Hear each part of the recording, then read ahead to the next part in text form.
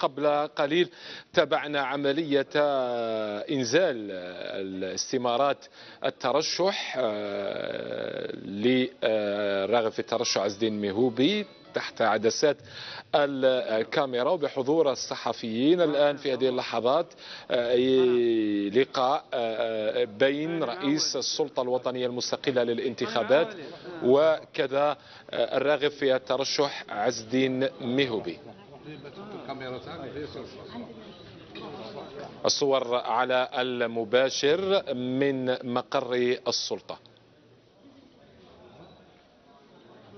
حضور رئيس السلطة محمد الشرفي وكذلك أعضاء السلطة من بينهم المكلف بالإعلام وباقي الأعضاء. نعم.